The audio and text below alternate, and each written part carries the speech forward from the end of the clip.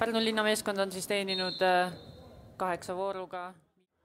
kes siis Florast Paidega liitunud ja kolm kolmele, Tomson ja, ja Tomson to score. üks-null, Paide linnameeskond läheb seda kohtumist juhtima. et äh, poleks siit ära löönud, oleks kindlasti võistkonnakaaslased kurjustanud, et äh, mis sa põmmutad peale, aga kui lööd ära, siis on kõik õige. ja Paidel nüüd omakorda võimalus siin kiiresti kontrasse tulla. Ja number neliteist, number neliteist, vabandust, Henri Hanson siis Paide poole pealt. lükkab selle palli väravasse. hästi võtab hoo ülesse ja tuleb sinna keskele ja, ja antakse selle ruumi.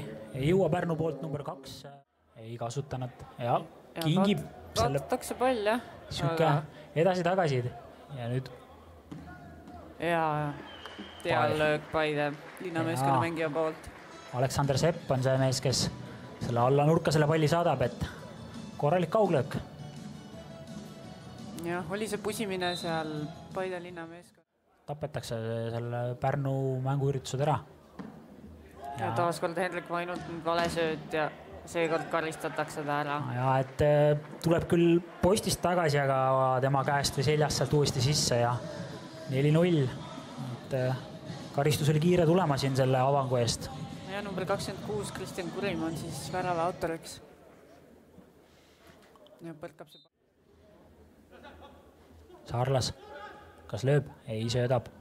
Koskor ja Tristan Koskor saadab selle palli nüüd Pärnu linnameeskonna võrku. hästi lahendatud rünnak, et äh, on vaja kohe kaugelt uhada ja Saarlas hästi leiab Koskori, kes tõmbab ühe puut-, ei Osani. ja Vahi tõrjub ja lõpuvile on kõlanud. Paide võidab siis viis-null Pärnut ja nende jaoks on turniir lõppenud